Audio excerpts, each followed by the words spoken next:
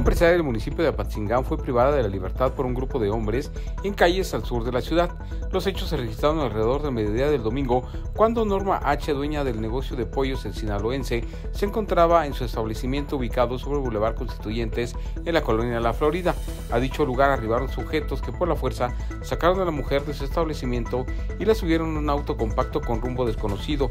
El crimen tuvo lugar a unos metros del cuartel de la Policía Municipal y a 10 minutos del de la Policía Estatal.